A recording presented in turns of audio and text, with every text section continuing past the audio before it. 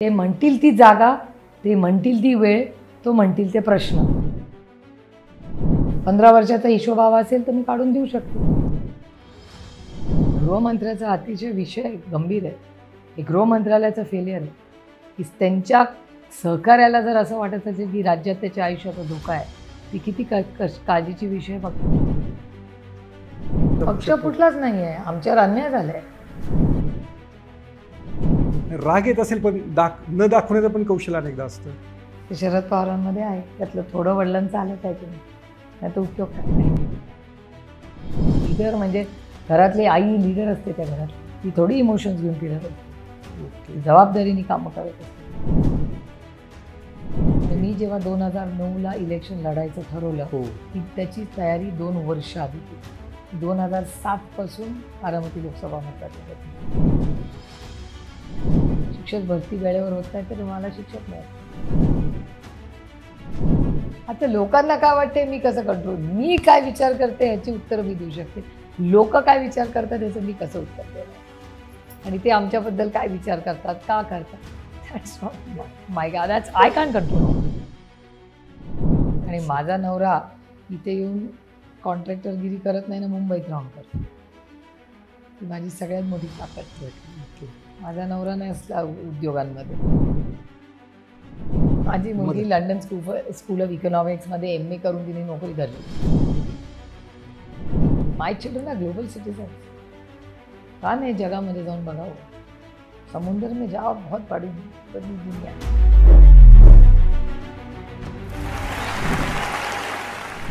बारामती लोकसभा मतदारसंघाची निवडणूक देशभरात आत्तापासूनच गाजू लागलेली आहे. आणि या मतदारसंघातील राष्ट्रवादी काँग्रेसच्या शरदचंद्र पवार पक्षाच्या उमेदवार आहेत मान्य सुप्रियाताई सुळे. सुळेंसाठी ही निवडणूक कशी असणार आहे? पुढची त्यांची रणनीती काय असणार आहे? आणि त्यांच्यासाठी हा खरोखरीच कठीण आणि अवघड असा सामना आहे का? या साऱ्या प्रश्नाबाबत ताई आपल्याशी बोलणार आहेत. सुप्रियाताई लेट्सअपमध्ये आपलं मनपूर्वक स्वागत. सर्वांना असं वाटतं आहे की आत्तापर्यंत तुमच्या ज्या इलेक्शन झाल्या बारामती लोकसभा मतदारसंघातल्या त्यातली ही सर्वाधिक अवघड इलेक्शन तुमच्यासाठी असणार आहे. असं तुम्हाला खरंच वाटतं? तुम्हाला जे वाटतं ते तुम्ही विचार करा मला वाटतं ते मी विचार करेन. पण असं वाटतं की एक राजकीय संघर्ष आहेच म्हणजे तो तुमच्यासाठी राष्ट्रवादी काँग्रेस विरुद्ध भाजप अशा तीन निवडणुका तुम्ही आत्तापर्यंत लढलेल्या आहातच. पण ही पहिल्यांदा निवडणूक थोडीशी वेगळी आहे इतर तीन निवडणुकांपेक्षा असं तुम्हाला वाटत नाही का? नाही मला नाही वाटत. माझी लढाई पहिल्यापासून भारतीय जनता पक्षाची आहे आणि ती आजही त्यांच्याशीच आहे. त्यांच्याशीच आहे. पण आज पहिल्यांदाच असं होऊ शकतं किंवा असं होणारच आहे की एक ज्यांच्या पाठिंब्यावरती किंवा त्यांची मदत तुम्हाला होत होती अशा व्यक्तीच तुमच्या समोरून असणार आहेत. हा वेगळेपणा तुम्हाला जाणवत नाही का? ही लोकशाही आहे. लोकशाहीमध्ये प्रत्येकाला निर्णय घ्यायचा अधिकार आहे. बरं. आणि लोकशाहीत कोणीतरी विरोधात लढणारच. पण हे तुम्ही गेले चार पाच दिवस मी तुमच्या अनेक मुलाखती ऐकतो आहे. तुमच्या मुलाखतींमध्ये हे उत्तरामध्ये सातत्य आहे. हो अर्थातच. माझ्या विचारातच सातत्य आहे. Consistency is my middle name yes पण मला त्याच्या पुढे जाऊन मला खरोखरच विचारायचं आहे की लोकशाही आहे तुमच्या विरोधात कोण ना कोणतरी उभं राहणारच आहे. बारामती यापूर्वी पण कधी बिनविरोध झालेली नव्हती. पवारसाहेब होते तेव्हाही बिनविरोध झालेली नव्हती. पण ही निवडणूक अशासाठी वेगळी आहे की अनेकांचं म्हणणं असं होतं की म्हणजे श पवार श अजित पवार गटाच्या लोकांचं म्हणणं असं आहे की अजित पवारांचा पेपर कॉपी करून तुम्ही या निवडणुकीमध्ये आत्तापर्यंत जिंकत आलेल्या होता आणि आता तुम्हाला स्वतःला परीक्षा द्यायची आहे. ठीक आहे त्यांना आरोप करायचा अधिकार आहे. हो पण त्याला उत्तर द्यायचं पण तुम्हाला गरज वाटत माझी नाही नाही तो माझा मतदार असेल तर मी नक्की त्याला उत्तर देईन. नाही मला वाटतं ज्यांनी आरोप केलेला आहे त्या तुमच्या मतदार असू शकतात ना. मग त्यांनी मला समोर येऊन प्रश्न विचारावा. मी अतिशय प्रांजळपणे त्याचं उत्तर देईन. पण असं जे कोणी माझे मतदार आहेत त्यांच्यासाठी मी twenty four by seven available आहे. बरं. ते म्हणतील ती जागा ते म्हणतील ती वेळ तो म्हणतील ते प्रश्न. मी स्वतः जाईन त्यांनी कोणी यायची गरज नाही. ते म्हणतील ती वेळ ते म्हणतील ती जागा आणि ते म्हणतील ते विषय. वर माझी कुठेही सार्वजनिक ठिकाणी त्यांच्या इथे जायची कुणाच्याही कुणातल्याही कडे तयारी आहे माझी. म्हणजे हा जो पेपर सोप्पा किंवा कॉपी केलेला जो पेपर आहे असं जे थोडंसं हिनवण्याच्या भाषेमध्ये लोकशाही आहे. लोकांना बोलायचा अधिकार आहे. मी असे आरोप प्रत्यारोप करत नाही. एक तर माझी स्टाईल नाही ती. बरं. आणि माझ्या आईने माझ्यावर खूप संस्कार केले. त्याच्यामुळे मी मर्यादा पुरुषोत्तम राम यांची भक्त आहे. त्याच्यामुळे मर्यादा सोडून कधीच बोललेली नाही कधी बोल- बोलणारी नाही. ओके. पण अनेकांना असं वाटतं किंवा अजित पवारांनाच असं वाटतं की ही इलेक्शन जी आहे भावनिक मुद्द्यांवरती लढवली जाणार आहे आणि काही लोक तुम्हाला भावनिक करतील. त्याला भुलू नका असं बोलतात ते. ठीक आहे लोकशाही आहे प्रत्येकाला त्याचं मत मांडण्याचा अधिकार हो पण त्याला याला तुमचं काउंटर काय आहे? माझं हेच उत्तर आहे लोकशाही आहे त्यांनी त्यांनी भाषण करावं. आम्ही आमचं करू. ओके. आणि त्यांचं असं म्हणणं होतं की काही लोक येतील ही आपली शेवटची निवडणूक आहे असं म्हणतील. आणि तुम्हाला मतदान करायला भाग पाडतील. कोणाची शेवटची निवडणूक आहे? त्यांच्या मनात काय होतं ते? मग तुम्ही ते असं अर्धवट प्रश्नाचं कसं उत्तर देणार? जितेंद्र आव्हाडांनी असं त्याला अर्थ असा काढला होता तो जितेंद्र आव्हाडने काढलेला आहे हो. त्यांना विचारावं लागेल तुम्हाला. मी दुसऱ्याची उत्तरं कशी देणार? उत्तर देणार नाही पण ते त्यांना असंच म्हणायचं होतं की म्हणजे जे भावनिक एक इमोशनल टच की पवार साहेब आहेत मुलीसाठी आता मतं मागायला येतील तर तुम्ही त्याला भूलू नका असंच दादांना सांगायचं होतं. असं मी कसं त्याच्यावर उत्तर देणार? याचं क्लॅरिफिकेशन मला पाहिजे की नक्की काय तुम्ही म्हणताय म्हणून मला वाटलं म्हणून. बॉस आय मग पॉलिसी मेकर मी गॉसिप नाही करत. नाही तो व्हिडिओ आहे ताई. नाही पण त्यांच्याबद्दल बोलण्याचं कशावरून? आणि कोणाचंही शेवट असेल असं मी कधीच कोणाबद्दल बोलणार नाही. म्हणून मी. सांगितले मी मर्यादा पुरुषोत्तम रामाची भक्त आहे. त्याच्यामुळे मी मर्यादाला ठेवूनच बोलते आणि आजपर्यंत मी पंधरा वर्ष लोकप्रतिनिधी आहे. माझ्या तोंडातून कधी पार्लमेंट किंवा पब्लिकमध्ये कधी चुकीचा शब्द गेला आहे का. हे माझ्यावर झालेले माझ्या आईनी आणि झालेले मराठी संस्कार आहेत. मध्यंतरी दोन तीन दिवसापूर्वी बारामतीमध्ये कार्यक्रम झाला. आणि त्या कार्यक्रमामध्ये जेव्हा शरद पवार होता व्यासपीठावर उपस्थित होते तुम्ही होता. तर त्या कार्यक्रमामध्ये जेव्हा शरद पवार उभे राहिले तेव्हा जोरदार टाळ्यांनी लोकांनी स्वागत केलं. तर त्याचा अर्थ काय घ्यायचा? तेव्हा जे विरोधी पक्ष तुमचे जे आहेत ते देखील नेते सगळे दिग्गज नेते व्यासपीठावर उपस्थित होते. आणि सर्वाधिक टाळ्या शरद पवार यांच्या सत्काराला किंवा भाषणाला पडल्या. तर त्याचा अर्थ तुम्ही काय घेतला? बारामतीकरांचं पवारसाहेबांचं फार प्रेमाचे ऋणानं बंद आहे त्या प्रेमात दुसरं कोणी नाही. आहे पवारसाहेब आणि बारामती. हे प्रचंड प्रेम आणि फक्त बारामती नाही ते महाराष्ट्रात आणि देशात अनेक ठिकाणी जिथे जातात तेव्हा त्यांना एवढंच प्रेम मिळतं. अच्छा. त्याच्यामुळे त्यांनी उभं आयुष्य गेले साठ वर्ष. हे भारताचा एक मोठा नेता म्हणून बघितलं त्यांना मोदीजींनी मी मोदीजींचे जाहीर आभार मानते की त्यांनी त्यांचं काम बघून त्यांना पद्मविभूषण पदवी दिली. काश्मीर टू कन्याकुमारी. कुठेही गेला तर शरद पवारांना बच्चा बच्चा जाणतात. आणि शेतकऱ्यांचा एक नेता काहीवारी म्हणून त्यांच्याकडे लोक बोलतात. ते मी म्हणत नाही लोक जे बोलतात ते. बरोबर. त्याच्यामुळे त्यांची ही नाळ आणि त्यांचा जन्म कर्म ही सगळी भूमी हिची सगळ्याची सुरुवात बारामतीतून झाली. आणि हे त्यांचं आणि बारामतीकरांचं जे प्रेम आहे त्याच्यात तिसऱ्याला जागा नाही इन्क्लुडिंग मी. अच्छा. मधल्या नातं आहे. म्हणजे मधल्या काळामध्ये बारामतीकरांचा आणि पवार साहेबांचा काही कनेक्ट तुटला होता का? पण तू आईचा आणि मुलांचा कधी किंवा आईवडिलांचा आणि मुलांचं नातं कधी तुटतं? कधीच तुटत. जबाबदाऱ्या बदलतात पण नातं तसंच राहतं. जेव्हा मुख्यमंत्री एकनाथ शिंदे फडणवीस आणि अजितदादा बारामतीत आले तेव्हा साहेबांनी त्यांना भोजनाचं निमंत्रण दिलं. तर तेव्हा तुमच्या डोक्यामध्ये काय मेनू तयार करायचं काही ठरवलं होतं का तुम्ही? नाही करत ते माझी आई करते. अच्छा तेव्हा स्वतः प्रतिभाताई तेव्हा उपस्थित हो. म्हणजे माझ्या घरातलं तिच्या घरात जेवण होतं माझ्या नाही. तर मेन्यू मी थोडी ठरवणार आई ठरवणार. तसं पण तुम्ही तर काल जेव्हा मुलाखत तुमची झाली तेव्हा तुम्ही असं एक उल्लेख केला होता की तुमच्या आईला राजकारण अजिबात आवडत नाही हो आवडत माझ्या त्या फोटोच्या फ्रेममध्ये आल्या तरी त्या दूर होतात. हो माझ्या आईला आवडत नाही. She is a very private person पण माझा नवरा पण तसाच आहे. त्यांना नाही आवडत हे सगळं. अच्छा तुम्ही नवऱ्याचा विषय काढला तर तुमचं एक भाषण होतं. की मी मतांसाठी काही माझ्या नवऱ्याला भाषणामध्ये किंवा सभांमध्ये आणत नाही. तुम्हाला नक्की काय सांगायचं होतं? इट्स अ फॅक्ट मी प्रत्येक सरपंच जिल्हा परिषद महिला अनेक वेळा असं होतं की त्यांचा नवरा येतो. मी आवर्जून विचारते की. नवऱ्यानी जरूर भाषण करावं. काही त्याच्यात कर पण बायकोनी पण पुढे येऊन भाषण केलं पाहिजे. की आरक्षण कुणासाठी आलं? त्या महिलेनी उंबरठा ओलांडून बाहेर आलं पाहिजे. तिचं कर्तृत्व दिसलं पाहिजे. आणि आणि ह्याच्याबद्दल मी माझ्या माहेर आणि सासरचे आभार मानेन की माझ्या सासर आणि माहेरचं मला कधीच प्रेशर नव्हतं. अच्छा. कधीच नाही. मला सगळा फ्रीडम माहेरी होता त्याच्याहून जास्त सासरी. ओके. पण या तुमच्या राजकीय वाक्याचा अर्थ अनेकांनी शोधलेला आहे. तो तुम्हाला पण माहिती असेल की त्या अनेकांना असं वाटतं की सुनेत्रा पवारांसाठी अजित पवार हे भाषणं करतायत मतं मागतायत. त्यांना उद्देशून तुम्ही हा टोमणा होता. लोकांना टोमणे वाटतं त्याला मी काय करणार? प्रत्येक जण त्याचा अर्थ त्यांच्या स्वभावाप्रमाणे काढतो. ओके. म्हणजे एखादी गोष्ट मी केली तर ती माझ्या स्वभावाप्रमाणे मी जज करणार तुम्ही तुमच्या प्र- स्वभावाप्रमाणे जज करणार. बरोबर. पण ती संधी तुम्ही दु दुसरा अर्थ काढायची संधी तुम्ही या निमित्तानं दिलेली आहे.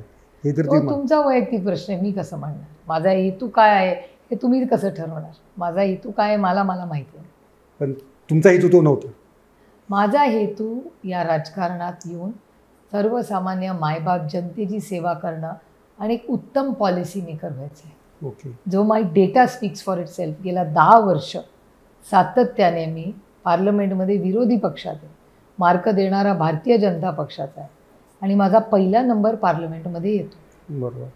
अँड डेटा वाईज जाऊया. उगाच म्हणजे वी विल गो आणि मागच्या वेळेस आत्ता दहा वर्ष चांगलं काम केल्याबद्दल सन्माननीय माननीय द्रौपदी मुर्मूजी ज्या या देशाच्या राष्ट्रपती आहेत त्यांनी आमचं कौतुक केलं. त्याच्यापेक्षा अजून काय आपली अपेक्षा ठेवणार? माझं भाग्य आहे की मला ही संधी मिळाली. संधी मिळाली. पण आता जेव्हा निवडणुकीचा प्रचार सुरू होईल तेव्हा तुमच्याच पक्षामध्ये कधी काही सहकारी असतील मित्रमंडळी म्हणतील सुप्रिया सुळेंची काय कामगिरी आहे? किंवा सुप्रिया सुळे कशा पद्धतीनं काय राष्ट्रवादीच्या बळावर निवडून येत होत्या? तुमच्यावर टीका करतील तेव्हा तुम्ही त्याच्याकडे कसं पाहाल? मी पाहत नाही टीकेकडे. ही लोकशाही आहे प्रत्येकाला टीका करायचा अधिकार आहे. पण त्याला लोकशाही जरी असेल तरी त्याला तुम्हाला काउंटर नॅरेटिव्ह हो, काहीतरी द्यावं नॅरेटिव्ह कसलं? मी नॅरेटिव्हसाठी नाही म्हणाले. नॅरेटिव्ह किंवा उत्तर असेल मी सेवा करायसाठी आले आणि data speaks for itself माझा सगळा डेटा माझं आयुष्य सगळं पारदर्शक आहे. माझा मिनिट टू मिनिट मी कुठे असते हे सगळ्यांना माहिती आहे. पंधरा वर्षाचा हिशोब हवा असेल तर मी काढून देऊ शकते. आणि माझ्या वेबसाईटवर तुम्ही गेला मी केलेली सगळी विकास कामं पार्लमेंटरी परफॉर्मन्स माझा पार्लमेंट माझ्या मतदारसंघातला सगळा माझा कॉन्टॅक्ट हा सगळा आहे. I live a very transparent life तुम्ही विचारा तेवीस तारखेला सुप्रिया सुळे मागच्या वर्षी तुम्ही कुठे होता to be on the website okay. त्यामुळे त्याबद्दल त्या टीकेची तुम्हाला त्या अर्थानं मला कुठल्याच टीकेची चिंता नाही आहे मी. टीकेला घाबरत नाही. आणि टीका करण्याला जर मला बोलायचा ताकद आहे हो. तर मला ऐकण्याची पण ताकद असली पाहिजे. ही लोकशाही. आहे लोकशाहीत बोलता तेव्हा ऐकायची पण ताकद असली पाहिजे. माणसात जी. माझ्यात आहे. अच्छा. एक व्हिडिओ तुम्ही पाहिला असेल किंवा नसेल पण तो व्हिडिओ आहे तुम्ही तुम्हाला असेल तर मी दाखवू शकेल. माझ्या पसंतीचा जर उमेदवार बारामतीमध्ये जर निवडून दिला नाही तर मी पुढची विधानसभा निवडणूक लढवणार नाही. असं थेट आजीदादांचं वक्तव्य आहे. आता तुम्ही म्हणाल त्यांना ते बोलायचा अधिकार आहे लोकशाही आहे हे उत्तर तुमचं तयार असेल. पण याच्या इन डेप्थ सेकंड लेवलचं ॲनालिसिस तुम्ही काय कराल? मी फारसा याचं अनालिसिस करत नाही कारण हे वक्तव्य किती योग्य का अयोग्य आहे हे मतदारांनी ठरवलं पाहिजे. यातनं म्हणजे अजित पवारांना खात्री वाटत नाही त्यांच्या विजयाची म्हणून ते थोडे इमोशनल झालेत. आता असं म्हणू नका की हा प्रश्न तुम्ही त्यांना कसं सांगणार? आता ते कसा विचार करतात हा मी कसं सांगणार? त्या खरं ते असा विचार करतायत खरं खरा विचार ते असं करतात की सुप्रिया सुळेंना हरवायचं आहे. ठीक आहे ना तो अधिकार आहे त्यांना एक पण तुम्हाला पण अधिकार आहे त्यांच्या पॉलिसीविषयी म्हणा किंवा त्यांच्या या वक्तव्यांविषयी बोलण्याचा तर त्याला तुमचं प्रत्येकाची स्टाईल वेगळी असते. अच्छा. प्रत्येकाचं राजकारण वेगळं असतं. प्रत्येकाची काम करायची मी पुन्हा तुम्हाला सांगते. माझ्यावर माझ्या आईने मर्यादा पुरुषोत्तम रामाचे संस्कार केले. त्याच्यामुळे मी मर्यादेचे बाहेर कधीच बोललेले नाही. Public life. पार्लमेंटमध्ये भारतीय जनता पक्षाचे लोक पण माझ्यासाठी टाळ्या वाजवतात. मीही त्यांच्या चांगल्याच म्हणजे यशवंत सिन्हांचा मुलगा जेव्हा बोलतो तेव्हा जयंत जेव्हा भाषण करतो. मी आवर्जून ऐकायचे. माझ्यासाठी आदर्श म्हणजे अरुण जेटली आणि सुषमाजी हो. तरी ते भारतीय जनता पक्षात असले तर ही लोकशाही आहे. म्हणून मी म्हणते जेव्हा आपण बोलतो ना तेव्हा ऐकण्याची पण ताकद ठेवता पण या म्हणजे आता तुम्ही म्हणजे अर्थ घेतला घेण्याचा अधिकार आहे सर्वांना. तुम्ही मर्यादा पाळता एका विशिष्ट लेवलच्या पुढे जात नाही.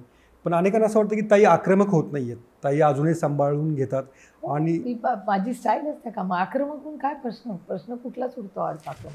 आणि अनेकांना असं वाटतं की ताईंच्या मनामध्ये कुठेतरी आहे की ते करण अर्जुन पिक्चरसारखं की मेरे करण अर्जुन लो टांगे तसं ताईनं असं मनातून वाटत असावं की माझे करण अर्जुन कोण आहे नाही नाही आजीदादा परत येतील अशा अर्थानं की ते अस- असं लोक जर माझ्या माझी जर भाषणं हां. ही सॉफ्ट अस लोकांना वाटत असेल हो. तर आय बी व्हेरी सरप्राईज खरोखरी सॉफ्ट आहेत. असं माझं पण मत. हो पण माझी स्टाईलच आहे. मी काय आकाडून चिडून बिडून बोलत नाही. म- माझ्याशी जसं लोक बोलतात ना जसं मला आवडेल तसंच मी लोकांशी बोलते. मला ओरडून बोललेलं आवडेल का? तुमच्यावर कठोर टीका झाली तरी तुम्ही अशा तुमच्या स्टाईलनं उत्तर देणार. तुम्ही बघितले माझ्या रोज टीका होते. मी कधी उत्तर दिलं त्याला. एक बारामतीच्याच कार्यक्रमातला प्रसंग आहे. एकनाथ शिंदे येत आहेत. एकनाथ शिंदेना तुम्ही नमस्कार घातलेला आहे. एकनाथ शिंदेंच्या पाठीमागे अजितदादा होते. तो नमस्कार झाल्याचं दादांना काही दिसलं नाही व्हिडिओमध्ये आम्हाला. तर तुम्ही मी मुख्यमंत्र्यांशी बोलत असताना बरेच लोक पास झाले तिथून. त्याच्यानंतर मी बघितलं तेव्हा देवेंद्रजी माझ्यासमोर उभे होते. मग लोडाजी होते. मग मी सगळ्यांना भेटत भेटत आले माझ्या जागेवर. तिथं असं ऑकवर्ड काही नव्हतं तिथे? आय एम नेव्हर ऑकवर्ड माझी बॉडी लँग्वेज तुम्हाला कधी ऑकवर्ड दिसत नाही. कधी. त्या समारंभापुरतं विचारतो मी. नाही नाही. कधीच नसतं. I am not awkward by nature माझ्या आईने मला इमोशनली खूप सिक्युअर वाढवलं आहे I am not ever okay तुम्ही राष्ट्रवादी काँग्रेसच्या राष्ट्रीय अध्यक्षा होणार होत्या. तर ही संधी तुमची गेली असं तुम्हाला वाटतं? मी संधीसाठी किंवा पदासाठी काम नाही करत. मी लोकांच्या. सेवेसाठी राजकारणात आहे. अच्छा. आणि दुसरं एक राजकारणातला अनेकदा अनेकांना असं वाटतं की हे प्रश्न विचारला गेला पाहिजे. महाविकास आघाडी जेव्हा सत्तेत आली तेव्हा अडीच वर्षानंतर तुम्ही मुख्यमंत्री होणार होता. हे पण खरं आहे का? तुम्हाला सिविक्स येत असेल ना त्याच्यासाठी मला आमदार व्हायला लागेल. हो पण ठीक आहे. म्हणजे आमदार तुम्ही झाला असता. आधी? अनेकदा आता आमदार नसलेले अनेकदा मुख्यमंत्री झालेले आहेत. हे तुम्हाला ज्यांनी कोणी सांगितलं आहे त्याला त्याला तुमचा इन्फॉर्मर ठेवू नका कारण का तो चुकीच्या बातम्या तुम्हाला सांगतो. चुकीच्या बातम्या नाही पण तेव्हा खरोखरीच एक राजकीय वर्तुळामध्ये चर्चा होती की नाही सुप्रिया कुठलं राजकीय वर्तुळ? माझ्यापेक्षा तुमचं राजकीय वर्तुळ मोठं असू शकत नाही ना. हा नाही शेवटी तुम्ही निर्णय करते आहात किंवा मी नाही निर्णय करते पक्ष निर्णय घेते.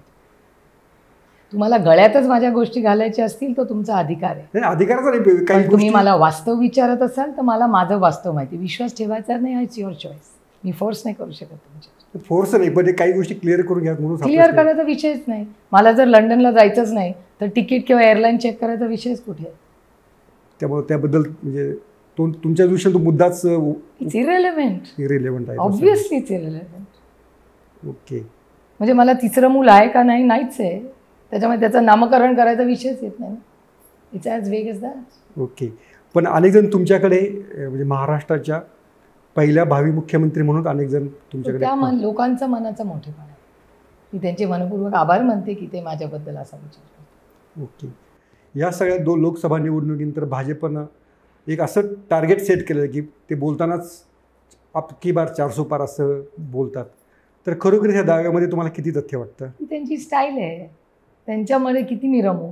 मी माझं बघू दुसरे की घर में क्यों झाकू मैं अच्छा. पण असं जेव्हा त्याला प्रत्युत्तर देण्यासाठी तुमची स्ट्रॅटेजी काय असते की माझी मी कोणाला प्रत्युत्तर देण्यासाठी काम करत नाही. नाही पण एक राजकारणामध्ये तुम्हाला द्यावं लागेल नॉट ॲट असं- ऑल हे कोणी सांगितलं? पवार साहेबांचं साठ वर्षाचं राजकारण त्यांनी कोणाला कधी उत्तर दिलं? त्यांनी कधीच कोणाला उत्तर दिलं नाही. त्यांच्यावर आरोप होत गेले ते गप्प बसून त्यांचं काम करत राहील. अच्छा. पण हा विरोधी पक्षांना एक नाउमेद करण्याची त्यांची स्ट्रॅटेजी असं तरी तुम्हाला वाटतं? अरे लोक बोलत राहतात म्हणून आपण नाम व्हायचा. हा कुठला नियम? की बुवा नाही म्हणजे तुमचं विरोधी पक्षाच्या आत्ताच म्हणजे एक आपण त्याला म्हणतोय उमेद थोडीशी कमी करायची किंवा त्यांच्यावर त्यांना थोडा प्रेशर शाळेतून आपण बाहेर येतो. मित्र. म्हणतो माझा पेपर खूप छान गेला. शंभरापैकी शंभर मला भेटणार. आपल्याला आपला आत्मविश्वास नसतो.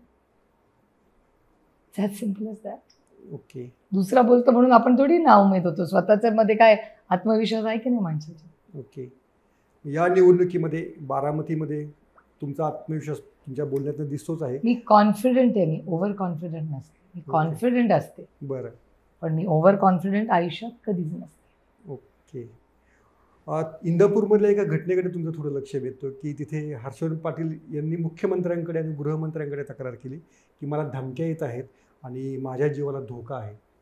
तर कशामुळे असं होत असावं हे? मला माहिती नाही हा गृहमंत्र्याचा अतिशय विषय गंभीर आहे. हे गृहमंत्रालयाचं फेलियर आहे. की त्यांच्या सहकार्याला जर असं वाटत असेल की राज्यात त्याच्या आयुष्याचा धोका आहे ती किती का काळजीची विषय बघा. म्हणजे याचं उत्तर गृहमंत्र्यांनी दिलं पाहिजे या राज्याच्या. की जर त्यांच्या संघटनेतल्या एवढ्या मोठ्या नेत्याच्या जर भीती वाटत असेल किंवा त्याच्यावर हल्ला होण्याची शक्यता असेल तर complete failure of the home ministry okay. आणि माल मी मगाशीच पण मागणी केली की हर्षवर्धन पाटलांना सिक्युरिटी देणं तातडीने गरज आहे. मगाशी मी प्रेसमध्ये पण बोलली. अच्छा. आणि ती जर चोवीस तासात दिली नाही तर मी गृहमंत्र्यांना पत्र लिहिणार आहे. की हर्षवर्धन भाऊंनी असं स्टेटमेंट केलेलं आहे आणि अतिशय चिंताजनक. या जेव्हा बारामतीमध्ये तुम्ही जेव्हा इलेक्शन लढवली तेव्हा अनंतराव थोपटे हे पहिल्यापासून काँग्रेसचे नेते तुमच्यासोबत राहिले. आत्ता पण तुमची शनिवारी मोठी सभा होणार आहे असं कळालं आहे तर थोपटे आणि पवार कुटुंबात आधी स्पर्धा होती आता नंतर तुमच्या आल्या- आल्यानंतर दोन हजार नऊ नंतर अतिशय एकमेकांना निवडणुकीमध्ये सहकार्य केल्याचं दिसलं. तर या संबंधामध्ये या निवडणुकीनंतर किंवा तुमच्या पक्षातल्या फुटीनंतर काही फरक पडला आहे तुमच्या फुटीचा आणि त्या आमच्या नात्यांचा काय संबंध? की महाविकास आघाडी म्हणून आणखी स्ट्रेंथिंग व्हायची वेळ आहे मग तुम्हाला आणखीन थोडी मदत ते करतायत वगैरे असं नेहमीच केली. थोपटे साहेबांनी आणि संग्रामदादांनी नेहमीच मला मदत केली. ओके. या पुढे भविष्यात ती तशीच राहील. महाविकास आघाडीत आम्ही काँग्रेसच्या विचारात काम करत आलो आहे. त्याच्यामुळे म्हणजे मला काही त्याच्यात म्हणजे काही वेगळं वाटतच नाही. वेगळं वाटायचं नाही. अ, तुम्हाला म्हणजे हा एक तुमचं लॉजिक मला त्या कळत नाही की तुम्ही म्हणता पक्षातही फूट नाही आणि कुटुंबातही फूट नाही. तर हे कशाच्या आधारावर तुम्ही हे करता? एक तर आमच्या राजकारणाचा आणि आमच्या कुटुंबाचा काहीच संबंध नाही. बरं. राईट टू प्रायव्हसी बरं. कुटुंबाचा विषयच येत नाही. कुटुंब फुटण्याचा काय संबंध आहे? ओके. कुटुंबाचा आणि आमच्या राजकारणाचा काय संबंध? एक. आणि आमचा पक्ष कुठलाच नाही. कशाचं काय? नाहीच फुटला आहे आमची केस चालली आहे कोर्टात. चिन्ह वेगळं आहे. मग काय झालं? ते काढून घेतले म्हणून पक्ष फुटलेला नाही थोडंसं म्हणजे समजायला जड जाते की तुम्ही आता एकमेकांच्या विरोधात निवडणूक लढवत आहात आणि तरी तुम्ही दावा करता आहात की आमचा पक्ष फूट- फुटलाच नाही आहे आमच्यावर अन्याय झालाय. आमच्याकडून पक्ष काढून घेतलेला आहे चुकीच्या पद्धतीने. ओके. पक्ष नाही फुटलाय तुम्ही जेव्हा दो मुलाखतीमध्ये दोनदा तीनदा लोकशाही लोकशाहीचा उल्लेख केला तर या लोकशाहीमध्ये बहुमत जे आहे त्या बहुमताला पण किंमत असते. आणि हो जर मग त्या बहुमताच्या आधारे जर काही आमदार भाजपसोबत गेले अजितदादा भाजपसोबत गेले तर या लोकशाहीच्या आधारे तुमच्या प्रश्नाच्या आधारे त्यात चुकलं काय? ही लोकशाही नाही त्याच्यात इलेक्शन कमिशनचं एक ऑर्डर आहे. त्याच्यामध्ये तीन टेस्ट असतात. पहिलं पक्षाचं जे संविधान असतं कॉन्स्टिट्यूशन ऑफ द पार्टी त्याप्रमाणे. तर कॉन्स्टिट्यूशन ऑफ द पार्टीमध्ये पार्टी मेजॉरिटी असते एम एल ए नाही. पार्टीमध्ये कुणाकडे मेजॉरिटी आहे? तर ती Sharad पवारांकडे. That is the first test first टेस्टमध्ये जर शरद पवार पास झाले तर दुसरी आणि तिसरी टेस्टचा विषयच येत नाही. ओके. त्यामुळे पार्टी तुमच्या बरोबरच आहे. असलीच पाहिजे ती चुकीच्या पद्धतीने काढून घेतली आहे पवारसाहेबांकडून म्हणून तर कोर्टात केस चालू.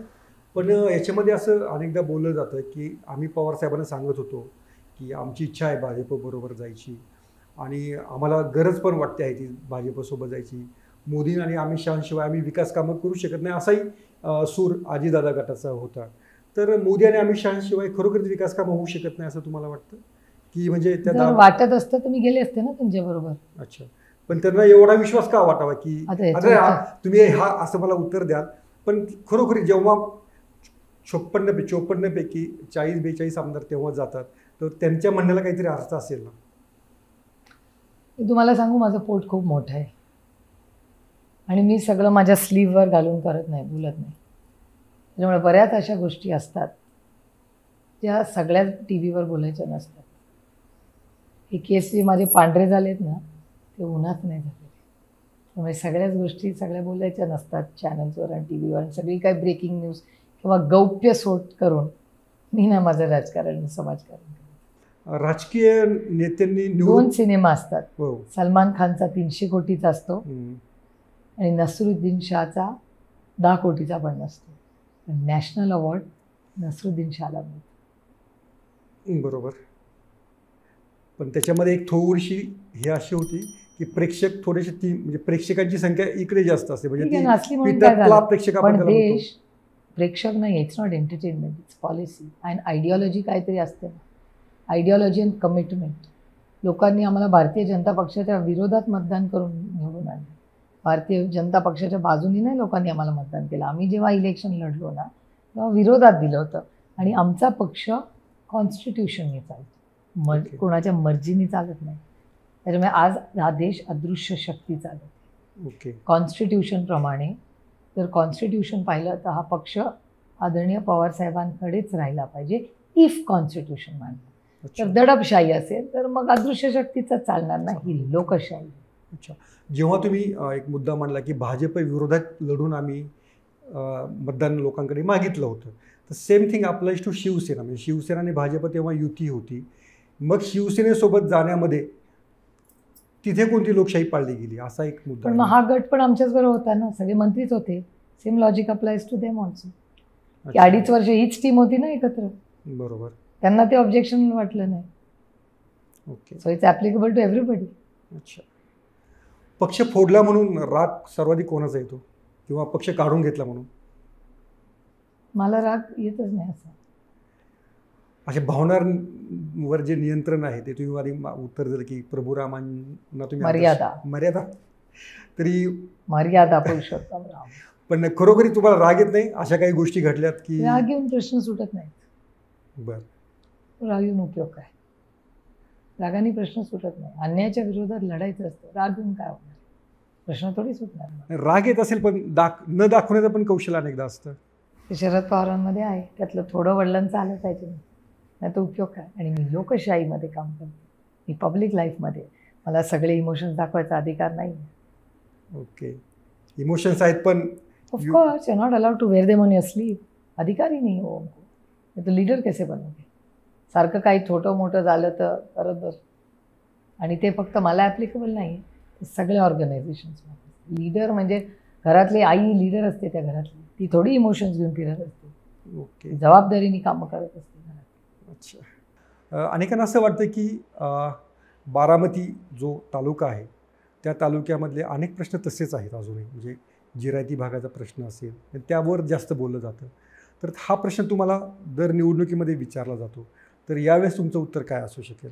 मी परवा सुप्याच्या विषयासाठी मी स्वतः तिथे जाऊन बसलो तीन तास होते. त्याच्यानंतर बरेच बदल घडलेले आहेत तिथे.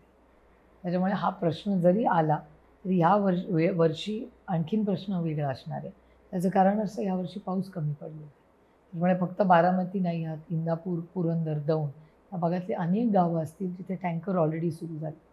आणि मी स्वतः गेले अडीच महिने या सरकारकडे मागणी करते की दुष्काळाची परिस्थिती आहे. उजनीत अजिबातच पाणी नाही. नाझऱ्यात अजिबात म्हणजे पा काल तर मी मागच्या आठवड्यात नाझऱ्यामध्ये माझी गाडी फिरवली होती. बरं. मी आत बघायला गेले होते तो पण आठपर्यंत गाडी गेली अतिशय गंभीर आणि भयानक परिस्थिती. राजनीती होती राहिली. मूलभूत प्रश्न आणि पाण्याचा प्रश्न हा आत्ता माझ्या लोकसभा मतदारसंघात सगळ्यात गंभीर आहे. आणि मी. अडीच महिने त्याचा फॉलोअप महाराष्ट्र सरकार त्याला रिस्पॉन्स कसा मिळाला महाराष्ट्र सरकारकडनं? हो, अतिशय वीक महाराष्ट्र सरकार काय हालचालच करत नाही. छावण्यांचे किती दिवसाच्या आमच्या मागण्या चारा छावण्या करा करा करा. किती दिवस आम्ही मागण्या करतो? काहीच हालचाल नाही. टँकर आता सुरू झाले थोडे थोडे खाऊन ओके. तुम्ही बारामती मतदारसंघातल्या अनेक गावांमध्ये जवळपास सर्वच गावांमध्ये फिरलेला असाल. नाही नाही फिरलेला असाल नाही. नाही नाही म्हणजे मी दर पाच वर्षातून हो. दोन राऊंड प्रत्येक गावात बारामती लोकसभा मतदारसंघात जाते पहिल्यापासून. आणि मी जेव्हा दोन हजार नऊला इलेक्शन लढायचं ठरवलं हो. त्याची तयारी दोन वर्ष आधी केली. दोन हजार सातपासून बारामती लोकसभा मतदारसंघ फिरते ओके. आणि त्याची तारीख वेळ कसला कार्यक्रम या सगळ्याचा डेटा माझ्याकडे असतो. ओके. तर त्याविषयी काही थोडेसे मला प्रश्न विचारायचे आहेत की या मतदारसंघातलं पर्यटनाच्या दृष्टीनं तुम्हाला आवडलेलं गाव कोणतं? आय गॉट व्हेरी डिफिकल्ट कारण का मला सगळ्यातच इंटरेस्ट असतो. म्हणजे मला भिगवणला गेलं तर पक्षी आवडतात. पुरंदरला गेलं की तिथे सासवडच एवढं अप्रतिम आहे. संतांची भूमी आहे. तिथे असलेली मंदिरं अप्रतिम आहे भोरला जातो तेव्हा सगळे गड आहेत. आणि मी सगळे गड चढते रेग्युलरली जे सिंहगड असेल रायरेश्वर असेल तोरणा असेल मी दरवर्षी एक दोन वेळा तरी चढतेच त्याच्यामुळे मला सगळ्यामध्येच इंटरेस्ट आहे. त्याच्यामुळे असं हे एकच सगळ्यात फेवरेट किंवा असं काय नाही. म्हणजे भिगवणला गेले की ते पक्षी जेव्हा भिगवणला दिसतात रावणगावला it's the most spectacular sight okay. किंवा सासवडचं टेबल लँड असेल बारामतीचं टेबल लँड असेल. किती वा वास्तू आहेत जागा आहेत शेत आहे त्याच्यामुळे खूप अप्रतिम आहेत त्या सगळ्या. ओके. म्हणजे बनेश्वरला आपण जातो. बनेश्वरचं मंदिर त्याच्या मागचं अप्रतिम जे गार्डन आणि जंगल आहे बनेश्वरचं वेल्ला वेल्ल्याला गेलं की एनलेस सगळं दिसतं असा सगळा तो भात लावलेला अप्रतिम. ओके. तुमच्या सोशल मीडिया पोस्टवर मी पाहतो की तुम्ही अनेक हॉटेल्सला वगैरे किंवा तुम्ही एक अ, चांगल्या तुम्ही खवया देखील असं जाणवतं त्याच्यावरनं. टोटली टोटली तर त्यातलं कोणती तुम्हाला तुमच्या मतदारसंघात सांगायला किंवा सांग बाहेरची सांगा की बुवा आवर्जून त्या हॉटेलला जाता किंवा त्या ती डिश तुम्ही फरमाईश करता मी राज्यात फिरत असताना सग सगळ्या खानावळीत जेवलेले ऑलमोस्ट बरं. त्याच्यामुळे त्याच्यात प्रत्येक एरियातली टेस्ट वेगळी. त्याच्यातली म्हणजे तिथे जे बनवतात त्यांची एक खासियत वेगळी असते. त्याच्यामुळे they are all my favourites okay असं एक पण नाव घेण्यासारखं डिश सांगा. नका हॉटेलचं नाव घेऊ किंवा काय सांगू शकतो? डिश गेलं काय? आपलं आता सांगलीला गेलं तर तो आखा मसूर असतो. ओके अप्रतिम लागतो. किंवा नाशिकमध्ये अनेक मिसळीचे खूप व्हरायटीची दुकानं आहेत जी अप्रतिम मिसळ करतात. कृष्णा जळगावला. जळगावला गेले की मी वांग्याचं भरीत कृष्णामधलं खाणार म्हणजे खाणार म्हणजे खाणार इट्स माय मोस्ट फेवरेट किती जागा आहेत तशा संपूर्ण महाराष्ट्र. दिल्लीमध्ये? दिल्लीमध्ये Baba ka Dhaba. Jantar Mantar. My most favourite त्यातली डिश कोणती पण? त्याच्याकडची. बाबा का धाबा. सरसो का साग आणि मकाई की रोटी. ओके. तुमच्या मतदारसंघातल्या शाळांना पण तुम्ही नियमित भेट देता तर कोणती शाळा तुम्हाला अशी आवर्जून म्हणजे प्रायव्हेट भरपूर आहेत. म्हणजे आधी विद्याप्रतिष्ठानच्या देखील आहेत. तर त्या सोडून तुम्हाला जिल्हा परिषद अनेक जिल्हा परिषदच्या शाळा आहेत ज्याच्यात अप्रतिम काम शिक्षक करतात. आणि आता सगळ्या स्मार्ट अंगणवाड्याही केलेल्या आहेत. बरं. त्यामुळे त्या सगळ्या अंगणवाड्यांमध्ये आज जे बदल जिल्हा परिषदच्या माध्यमातून होत आहेत इज व्हेरी व्हेरी एनकरेजिंग आणि माझ्या लोकसभा मतदारसंघात मी मागच्या टर्ममध्ये एक फुल कार्यक्रम घेतला होता. की प्रत्येक अंगणवाडीमध्ये इलेक्ट्रिकल कनेक्शन आणि प्रत्येक अंगणवाडीला पाणी. हा कार्यक्रम मी मागच्या वेळेस घेतला होता. म्हणजे दोन हजार एकोणीसचं जेव्हा इलेक्शन झालं ओके. त्याच्यात पूर्ण ताकदीने तो कार्यक्रम आम्ही केला. हेच प्राथमिक आरोग्य केंद्राबद्दल काय सांगाल? तुमच्या सीजमध्ये अनेक ठिकाणी अतिशय चांगल्या गोष्टी आहेत. म्हणजे आता भोरचंच उदाहरण देते. भोरमध्ये माझ्याकडे सी टी स्कॅन मशीन पण माझ्याकडे ऑपरेटर नाही. अनेक ठिकाणी इन्फ्रास्ट्रक्चर तयार आहे पण टेक्निशियन्सचा सातत्याने प्रॉब्लेम्स येतो ती एक मोठी गॅप मला हेल्थकेअरमध्ये सगळीकडे दिसते. ओके.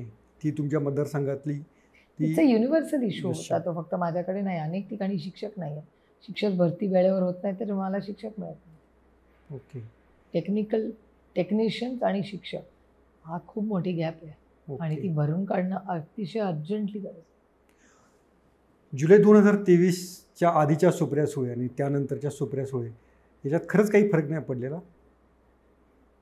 तुम्हाला दिसतोय. जाणवत नाही. जाणवत नाही.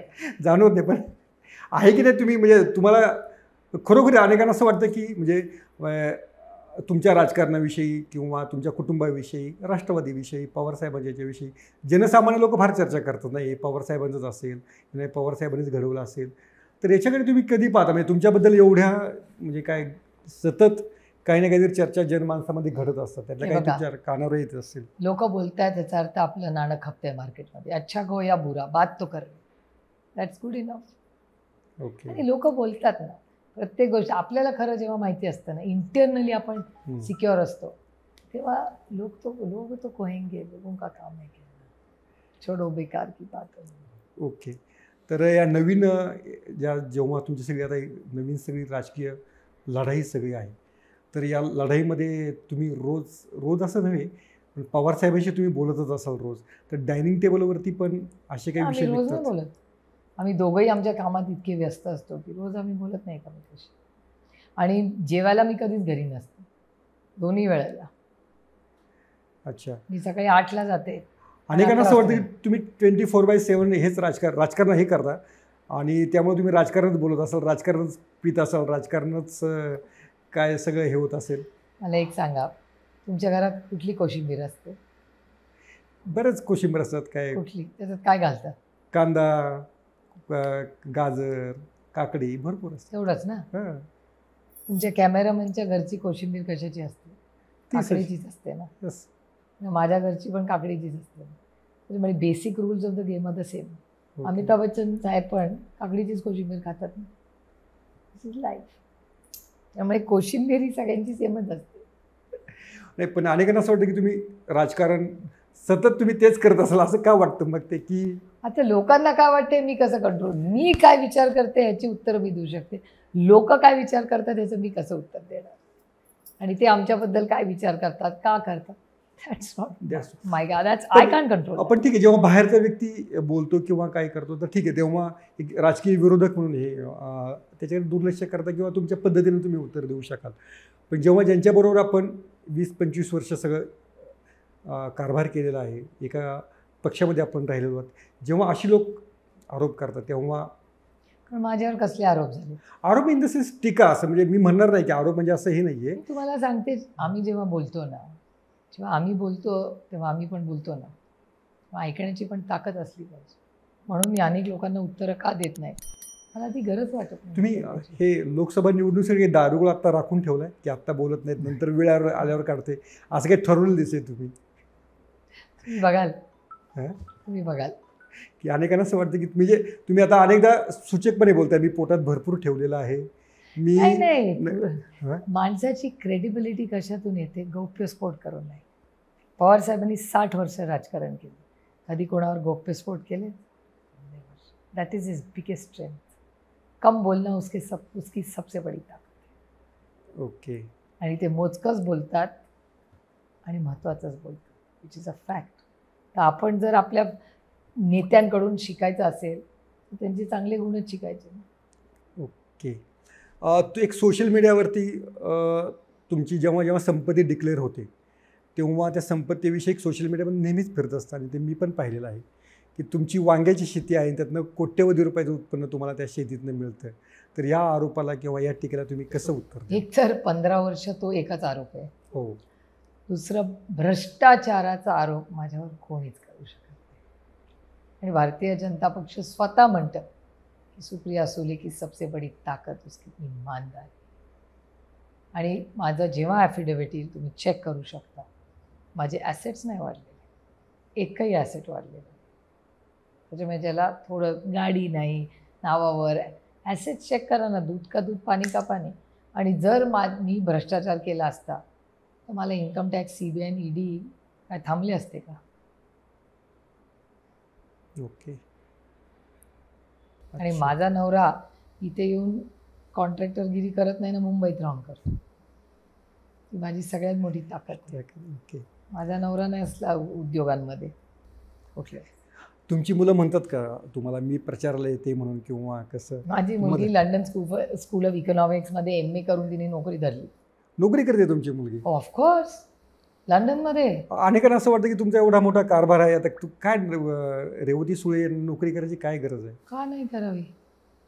मला अभिमान आहे की माझ्या मुलीला मेरिटवर लंडन स्कूल ऑफ इकॉनॉमिक्समध्ये तिने एम ए केलं आहे आणि ती स्वतःच्या कर्तृत्वावर तिथे नोकरी करते याचा मला सार्थ अभिमान आहे. अच्छा. कारण तुमचाही पसारा विद्याप्रतिष्ठान किंवा इतर संस्थेचा आहे तो तो पण कुणीतरी सांभाळायला हवा पुढे. बघूया ना त्याची काय घाई आहे. पण ती जर स्वतःच्या पायावर उभं राहून काहीतरी करू पाहते ओके. तर का मी नाही म्हणावं? पण त्या प्रचाराला त्या येणार आहेत तुमच्या मदतीसाठी?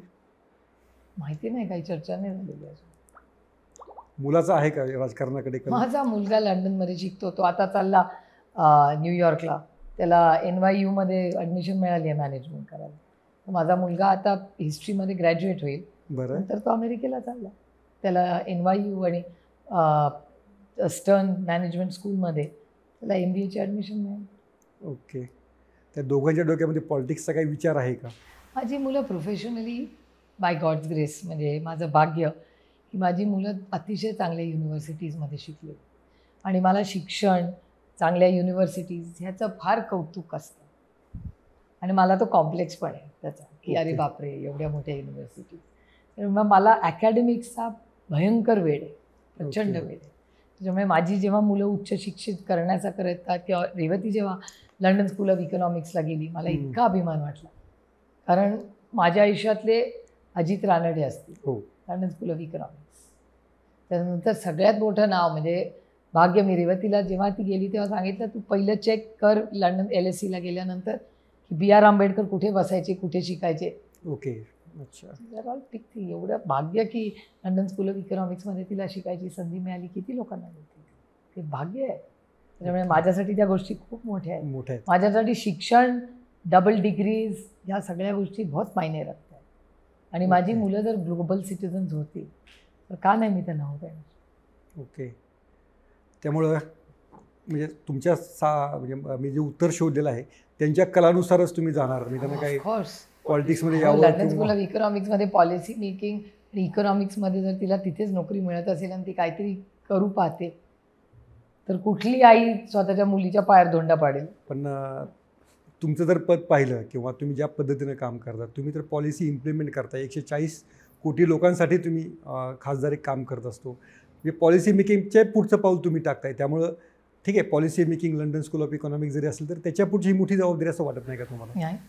ती जर वर्ल्ड बँकेत गेली आणि काही करू पाहते तर she can impact the world world बँकमध्ये गेली आणि कुठेतरी साऊथ अमेरिकामध्ये जाऊन काहीतरी इम्प्लिमेंट केलं कुठेतरी दुसरीकडे जगात केलं या दुनिया बहुत बड़ी है बड़ा सोचो okay my children are global citizens का नाही जगामध्ये जाऊन बघावं समुद्र में जाओ बहुत बड़ी बड़ी दुनिया है ओके त्यामुळे तुमचा विचार त्या पद्धतीने व्यापक माझा आहे मी युनायटेड नेशन्सला किती वेळा भारत सरकारने सुषमा स्वराजांचे मी आभार नेहमी मानते.